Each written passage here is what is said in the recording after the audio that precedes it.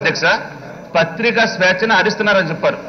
మా గౌరవ ముఖ్యమంత్రి గారు జగన్మోహన్ రెడ్డి గారు ఆ జీవోని చదివి దీన్ని అర్థం చేసుకున్నారా అర్థం చేసుకోకుండా చేశారని చెప్పి జీవో మొత్తం గౌరవ శాసనసభ్యులందరూ కాకుండా రాష్ట్రం మొత్తం చూసింది అధ్యక్ష. చదివిన తర్వాత తర్వాత ప్రతిపక్ష నాయకుడు చంద్రబాబు నాయుడు లెగిసి ఆ జీవో చదవకుండా ఆ జీవోని కంప్లీట్గా డైరెక్ట్లు పెట్టి తను చెప్పదలుచుకుని చెప్పాడు తప్ప అట్లా జీవో గురించి ఇప్పటిదాకా మాకు అర్థం కాలేదు సార్. ఆయనకి ఏం అర్థమైందో మాకు చెప్పలేదు సార్. అంటే ఆ జీవో జగన్మోహన్ రెడ్డి చెప్పినట్టు వాస్తవమా కాదా? మీరు ఒప్పుకున్నారా కాదా? దాంట్లో ఏముందని ఈవేళ గంటన్నర నుంచి మీరు శాసనసభని మీరు ఈవేళ పో- ఈ విధంగా సృష్టించారు. ఆ జీవో అసలు జీవో గురించి జగన్మోహన్ రెడ్డి గారు ఇంగ్లీష్ కరెక్ట్గా మాట్లాడారా? లేకపోతే మీకున్న ఇంగ్లీష్ పరిజ్ఞానం ఏంటి? ఆ జీవో గురించి మీరు మీరు చెప్ జీవో గురించి చెప్పమంటే అచ్చెన్నాయుడు గారు రామారెడ్డి గారు లోపలికి వెళ్ళిపోరు. చంద్రబాబు నాయుడు వేసే తెల్ల తీసుకుని తెల్ల తీసుకుని ఏదో మిగిలిన విషయాలు చెప్పారు తప్ప జీవో గురించి చెప్పారు అట్లా జీవోలు ఏముంది సార్? మా నాయకుడు చెప్పింది కరెక్టా? లేదా చంద్రబాబు నాయుడు గారు ఇవాళ చేసిన సృష్టించినటువంటి ధర్నా కరెక్టా? ఏది కరెక్ట్ సార్ అట్లా అట్లా జీవో ఏముంది సార్? చెప్పమని కదా జీవో మీకు ఏం అర్థమైంది ఎంఏ ఇంగ్లీష్ చేసిన మీకు ఏం అర్థం చెప్పండి. ఎంఏ వెంకటేశ్వర ఇంగ్లీష్ చేసిన చంద్రబాబు నాయుడుకి ఆ జీవో గురించి ఏం అర్థమైంది చెప్పండి సార్. సార్ రమేష్ జోగి రమేష్ గారు చెప్పండి.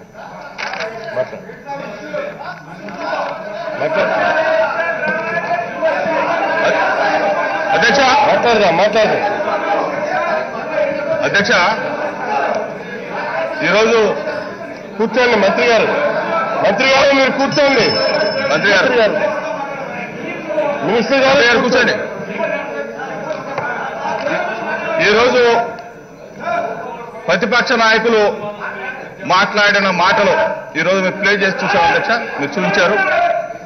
గౌరవ సభా నాయకుడి మీద ఈ రాష్ట్ర ముఖ్యమంత్రి గారి మీద ఐదు కోట్ల మంది తెలుగు ప్రజలు ఈరోజు ముఖ్యమంత్రి గారిని ఉద్దేశించి ప్రతిపక్ష నేత మాట్లాడిన మాట ఉన్మాది అనే మాటని ఈరోజు సభలో ఈ సభలో తెలియాలి తేలాలి అధ్యక్ష.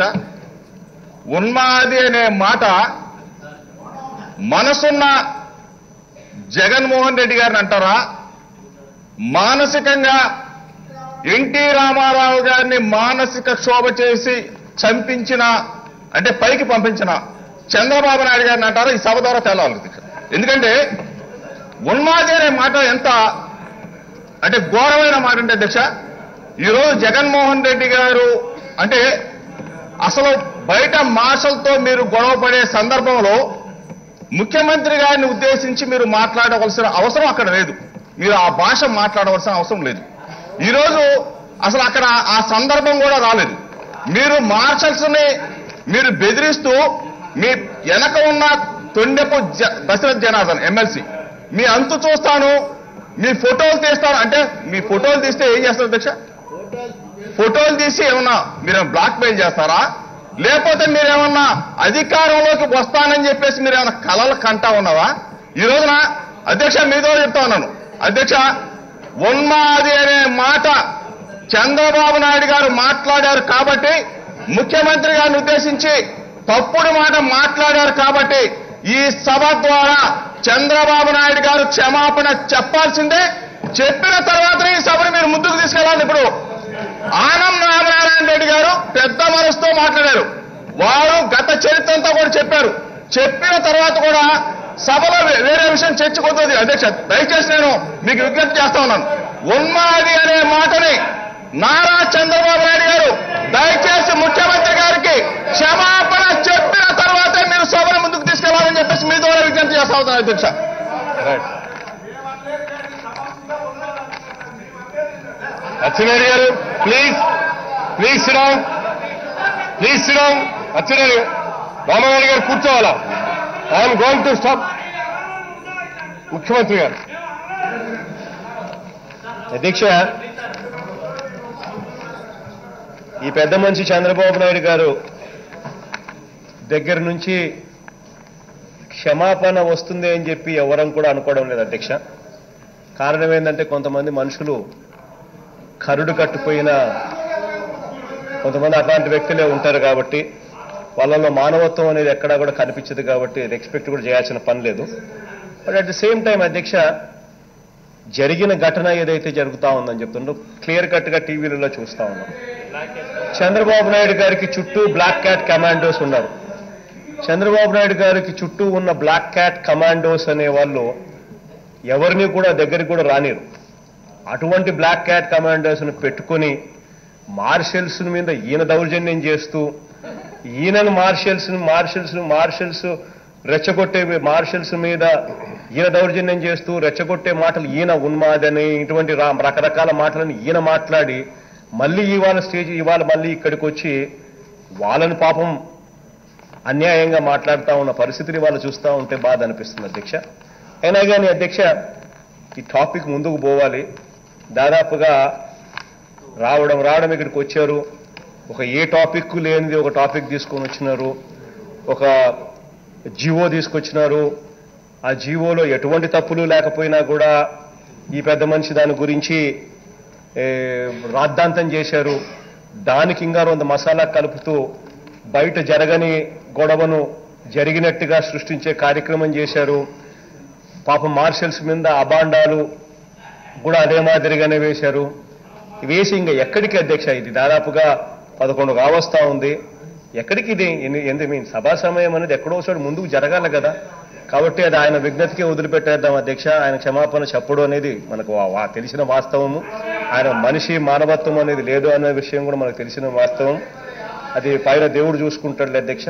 సో లెట్ గో ఫర్దర్ అధ్యక్ష. Right please stop the issue close చేయండి ఇష్యూ క్లోజ్ చేయండి. నో నో నో హౌస్ నడిపించాలి. నో నో ప్లీజ్ నో ఆయన ఆయన మాట్లాడారు.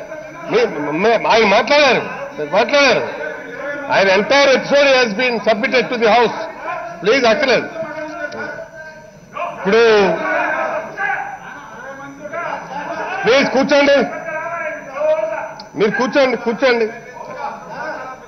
ఇప్పుడు జరిగినటువంటి మొత్తం ఎపిసోడ్ని బయట ఇప్పుడు సభలో జరిగినటువంటిది కాకుండా బయట జరిగినటువంటిది కూడా నేను మొత్తం వాస్తవాలను తెప్పించుకుంటాం. We will examine what is appropriate చూసిన తర్వాత దాని మీద నిర్ణయం ప్రకటిస్తాం. సరే ఇప్పుడు ఇప్పుడేనా? ఇప్పుడేనా? What nonsense you are talking ఇది హౌస్ ఇది. ఎప్పుడు? ఏం డిమాండ్ చేస్తున్నారా మీరు? దానికి ఒక పద్ధతి ఉంటారా ప్రొసీజర్ మీరు చెప్పారు. నేను విన్నాను. We will get the entire information with all with all this thing మేము నవ్వుకునే ఉంటాం. మీరు సీరియస్గా ఉండకండి. నాకు నవ్వలేటువంటిది నా ఇంటి పేరు. కూర్చో. తర్వాత రెండోది తెప్పించుకున్న తర్వాత తెప్పించు ప్లీజ్ ప్లీజ్ ప్లీజ్ తప్పించుకున్న తర్వాత తప్పించుకున్న తర్వాత తెప్పించుకున్న తర్వాత చూసి వాస్తవాలను ఆధారంగా చేసుకుని నిర్ణయం ప్రకటిస్తాం. ఒక్కటి మాత్రం మనం చేస్తున్నాను. ఇక మీరు ఈ హౌస్ కోరినటువంటి మీరు మాట్లాడినటువంటి ఆ పదాల మీదను మీరు క్షమాపణే చెప్పుకుంటారో లేదు చెప్పరో అది మీ విజ్ఞతకి మీ సంస్కారానికే మేము విడిచిపెడుతున్నాం అది.